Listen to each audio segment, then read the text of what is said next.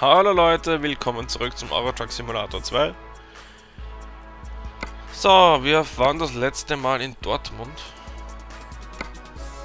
Und dann schauen wir mal, was Dortmund-Dresden. 441 Kilometer mit einem Volvo. Carlisle? Nein, na sicher nicht. Cambridge, Dover, das ist ja alles England der Rest. Metz, Manchester, Zürich. Nach Zürich könnte man fahren. 2500. 3000 für 400 Kilometer. Das bringt Zürich. Ah, das ist mehr. Fahren wir nach Dresden. Bleiben wir innerhalb von Deutschland. Nicht meiner Heimat. Fahren wir das.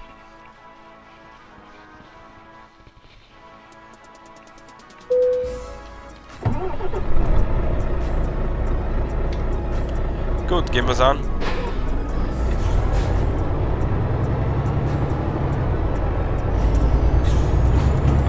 Warten, dass wir schalten das ab. Genau so. Wir haben ja hier ein Navi am Armaturenbrett, dann brauchen wir kein Navi unten eingeblendet haben. Schlafen müssen wir nicht. Diese Touren sollten sich eigentlich meistens ausgehen, ohne ganz vergessen, dass der Truck ja tiefer geklickt ist.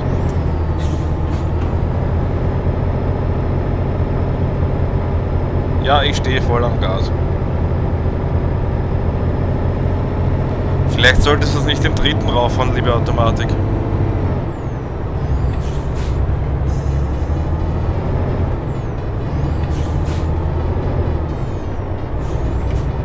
Aber ehrlich gesagt, selber schalten will ich nicht, weil ich könnte nur sequenziell und das ist eh langweilig.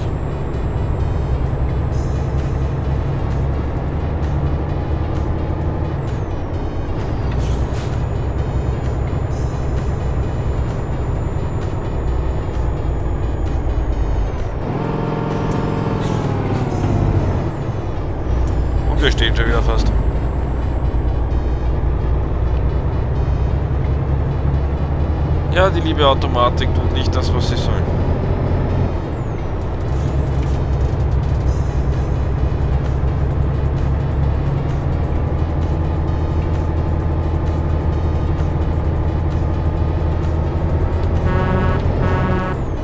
Fertig. Bis zum nächsten Mal.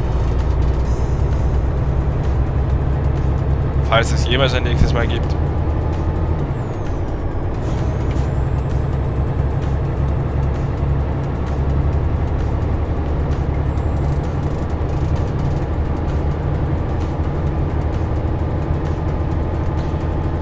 Geht mir gerade das Gesprächsthema aus.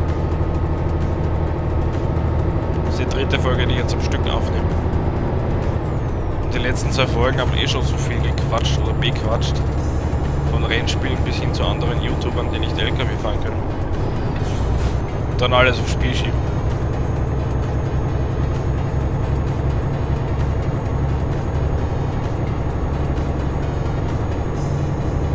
Ich sage natürlich nicht, dass ich es perfekt kann, aber ich möchte schon eingestehen, dass ich es relativ, zumindest halbwegs realistisch versuche.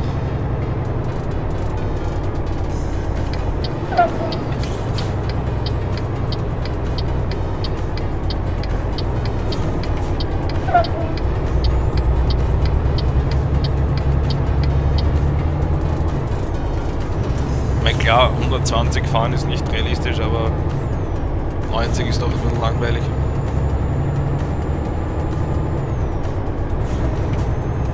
Bemühe mich.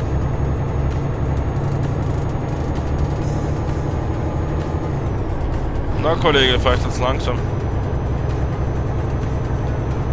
Ich hätte fast vermutet, dass es ein BMW-Fahrer ist, aber war ein Volvo-Fahrer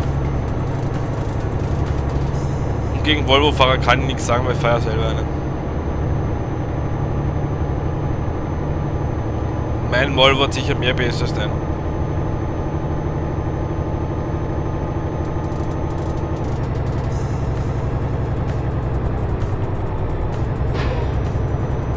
Bremse ich jetzt, wenn ich die überholen will? Erklärt man das mir?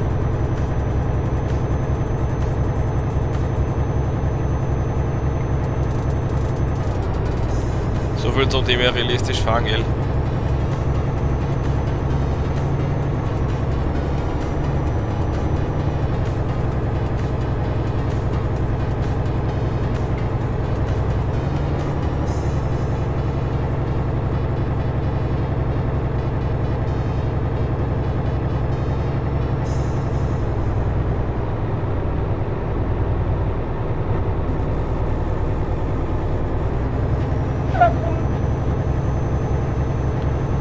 Navi zeigt mir sogar schon oben links das Ziel an, aber ich glaube, das ist ein leichter Bug von diesen eingebauten Navis, die zeigen das, viel schon viel, das Ziel schon viel zu früh an.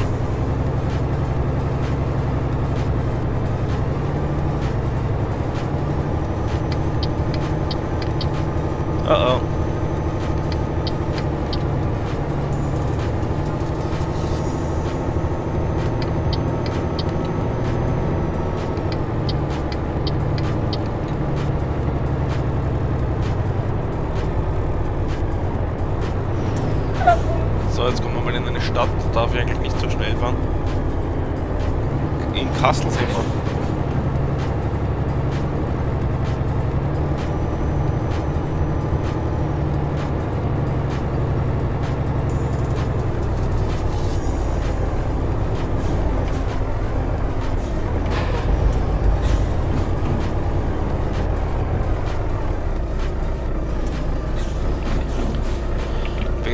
Genau aufs Navi schaut, der sieht, dass da vor uns eigentlich geradeaus gar nicht weitergeht.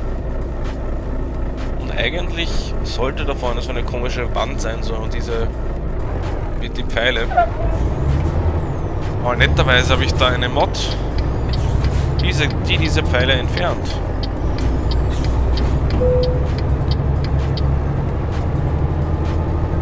Sagen wir lieber, wo ich hinfahren muss. Also.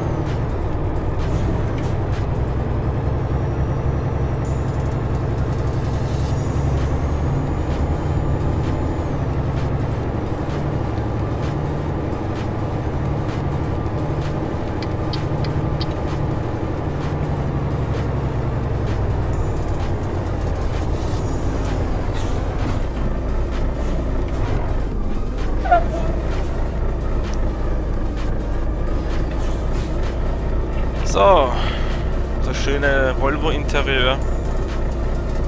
Die Nähte sind vielleicht ein bisschen grob, aber sonst.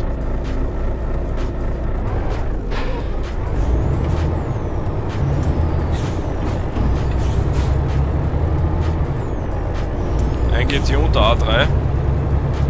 Ein Mazda 3. Und ein Cayenne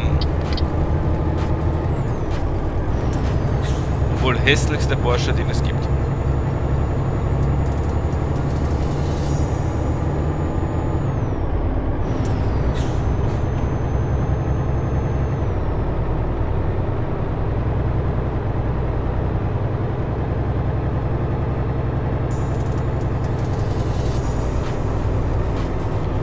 Die Spezialfolge zum ETS 1 kam ja leider gar nicht, nicht so gut an ich eigentlich schade.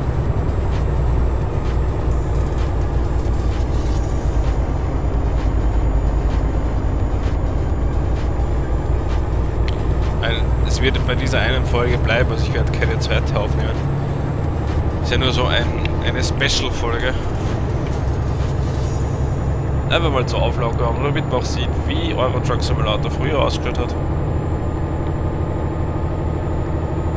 Wie die Anfangszeiten so waren, was man damals so gesehen hat und gehabt hat.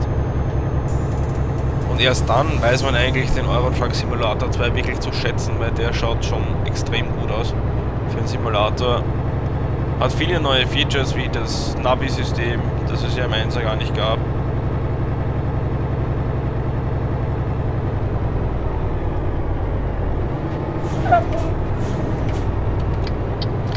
Aber natürlich, ihr habt recht, Euro Truck 1 war, war zwar der erste europäische Truck Simulator, war aber vor Euro Truck Simulator 2 nicht der einzige. Es gab ja dann noch den German Truck Simulator, beziehungsweise die, den Austria Truck Simulator mit das Erweiterungspaket mit Österreich das war ein mickriges, ein mickriges Paket eigentlich, weil in Österreich hat man glaube ich genau drei Städte gehabt. Aber ja, das war halt so. Und leider, leider muss ich sagen, habe ich mir damals wirklich die, die Austria Edition gekauft. Äh, hat vom Preis her das gleiche gekostet. Allerdings, das Problem war dann mit den Modifikationen dass die nicht mehr funktioniert haben. Also die, die speziell für den German Truck Simulator geschrieben waren, haben mit der Austrian Edition gar nicht mehr funktioniert. Da ist mir dann ehrlich gesagt auch die Lust an dem Spiel vergangen, weil mit den Originaleinstellungen waren die, die Lieferzeiten für die Fahrten so knapp bemessen, dass man die eigentlich kaum geschafft hat. Äh, ja, auch darüber habe ich mit Tanzi vor ein paar Tagen diskutiert. Die waren damals echt so knapp bemessen, dass man, wenn man nicht die Route gefahren ist, die eigentlich die, das System vorgeschlagen hat, beziehungsweise das System berechnet hat. Ich glaube, Navi gab es ja auch keines. Also der hat natürlich im Hintergrund die Route berechnet, die am besten, schnellsten, idealsten wäre oder was auch immer. Und die hat, mit, die hat er wahrscheinlich mit einer relativ hohen Durchschnittsgeschwindigkeit berechnet. Und deswegen, wenn man dann das Problem gehabt hat, erstens ist man eine andere Strecke gefahren, als er ausgerechnet hat, ist man halt doch über die Landstraße gefahren, wo man natürlich deutlich langsamer war, weil die KI auch noch extrem langsam gefahren ist auf der, auf der Landstraße im German Truck Simulator. Dann hat man eigentlich keine Chance gehabt, dass man das irgendwie schafft.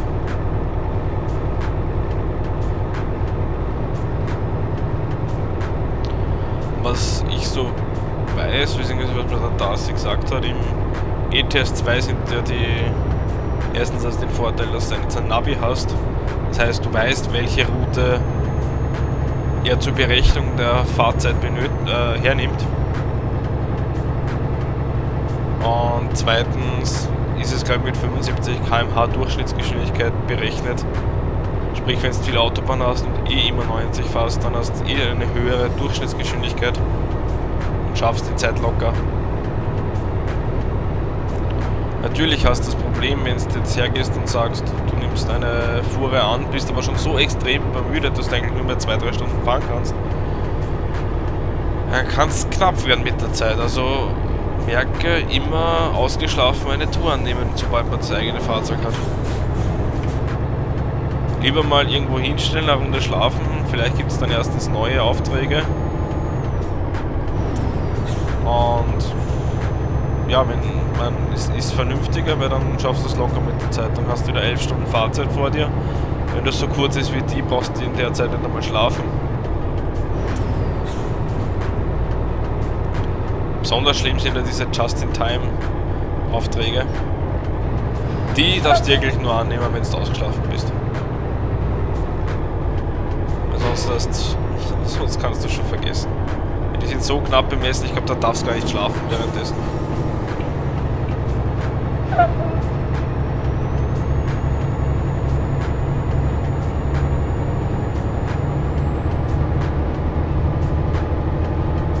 Aber die haben wir in unserem Haupt-Let's Play, also Vorfolge 100, noch gar nicht gemacht, also... Das weiß ich nur vom Hören sagen uns aus Videos von anderen Let's Playern, die dann auf einmal ein Zeitproblem gehabt haben.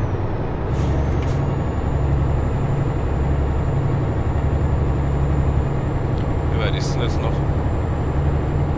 228 Kilometer noch.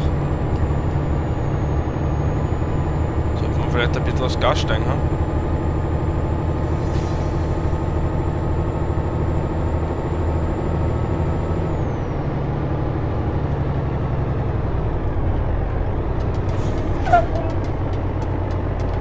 biegt's alle ab. Ja, dann nicht.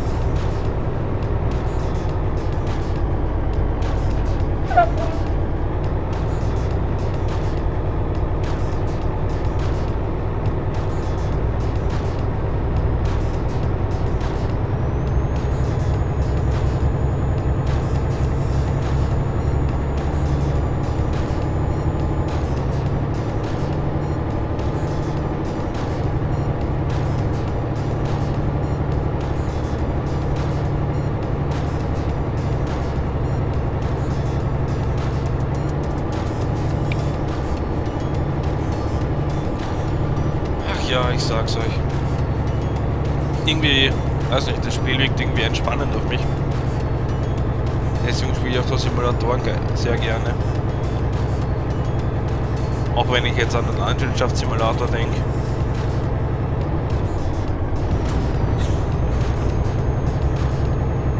Der ist ja auch so ein Kandidat, der mir sehr viel Spaß macht und den ich auch schon sehr lang gespielt habe.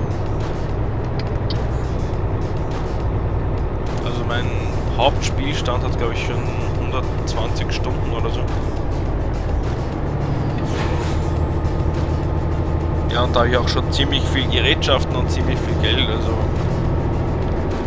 Aber leider, leider, der Landwirtschaftssimulator ist ja bei euch eigentlich nie gut angekommen, warum auch immer.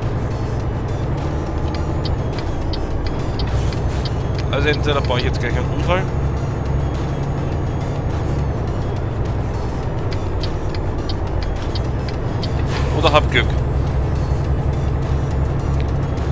Komm schon, Big Up. Danke.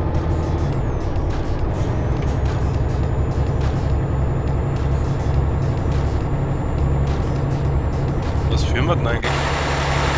Ah, eh.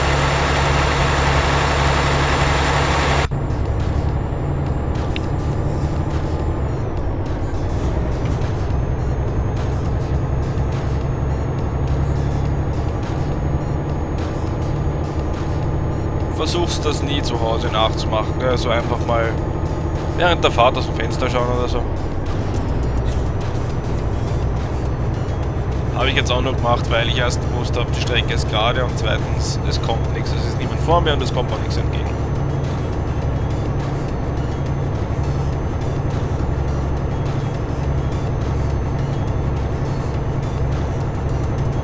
In dem Fall scheinbar noch immer zu langsam. Aber hat ihn nicht gerade überholt?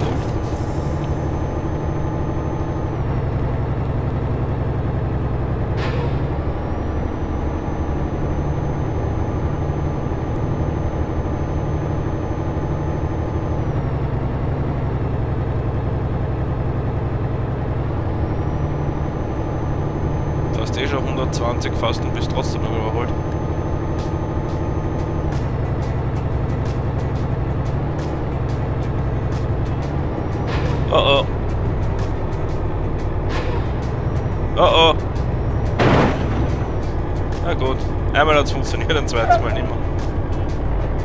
Ist weder mein Truck noch mein Trailer, also okay. Also Strafe habe ich keine zahlen müssen.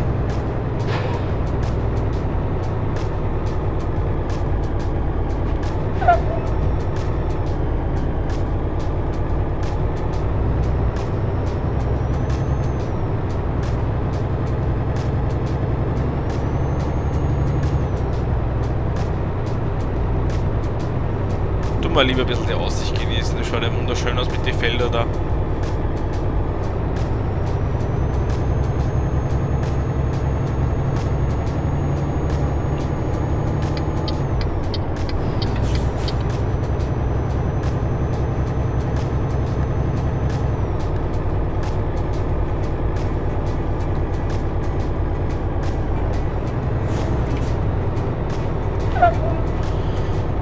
fast mit Ford fort, kommst mit dem Zug zurück.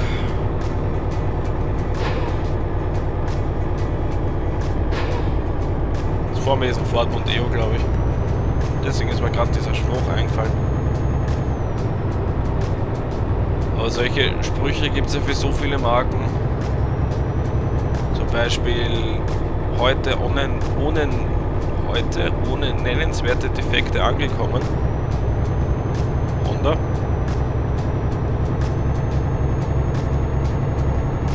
Äh,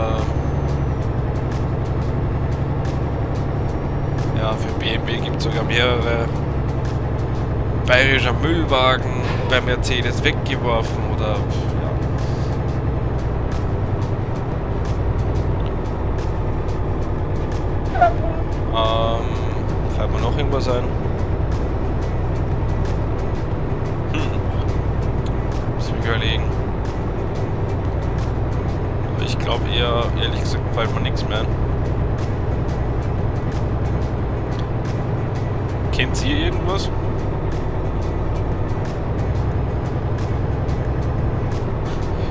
fällt mir noch ein. Völlig wertloses Gefährt ohne, ohne logische Funktion. VW Golf.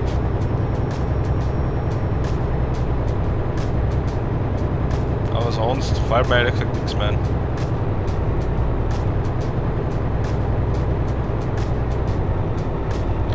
Falls ihr, falls ihr noch was kennt, ab in die Kommentare damit.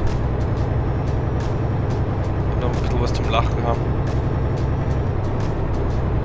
Sag einmal, was schleichst denn du so?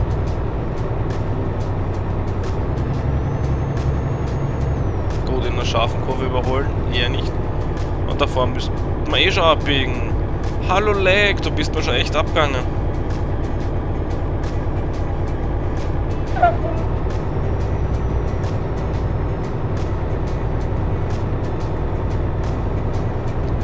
Hat er schon lange nicht mehr gelegt, das Spiel.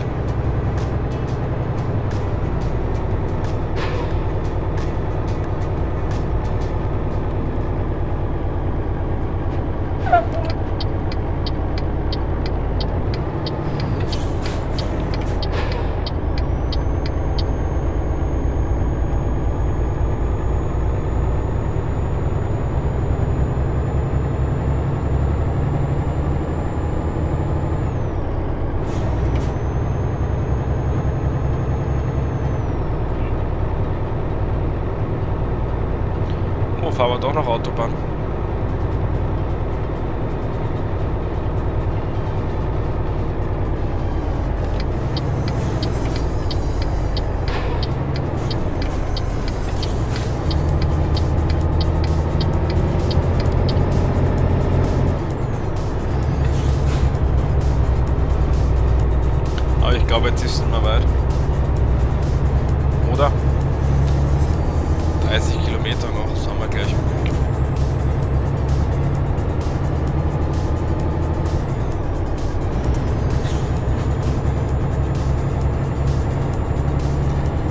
Sehr viel Landstraße jetzt dabei.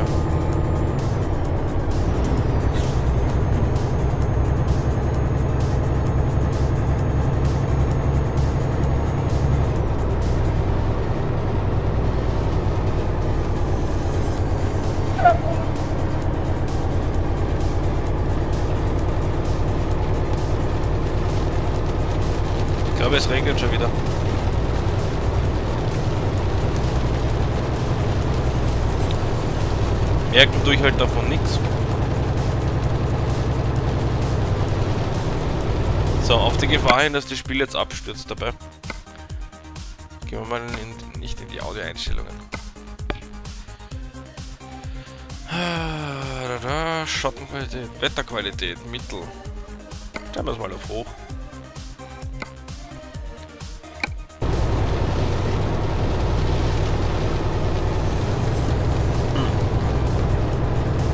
Oder hängt das an, liegt das an der Map? Normalerweise sollte ich jetzt eigentlich nichts mehr sehen, also.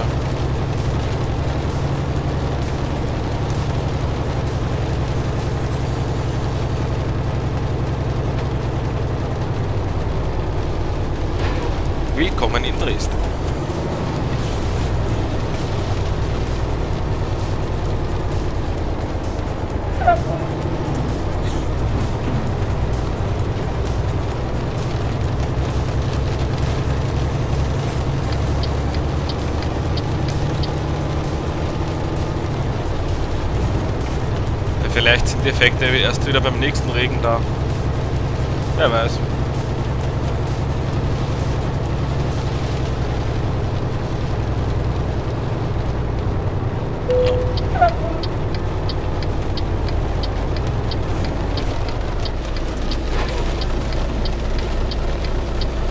Immerhin prasselt es ans Pfarrerhaus. Aber die Scheibenwischer braucht man nicht.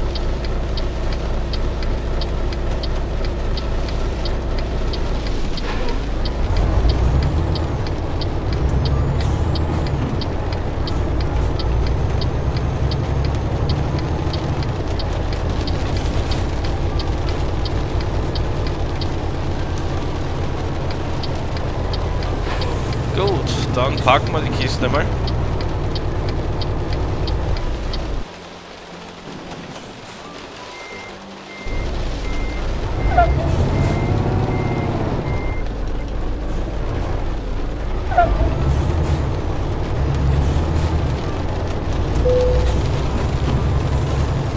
Hat keiner gesehen, dass ich das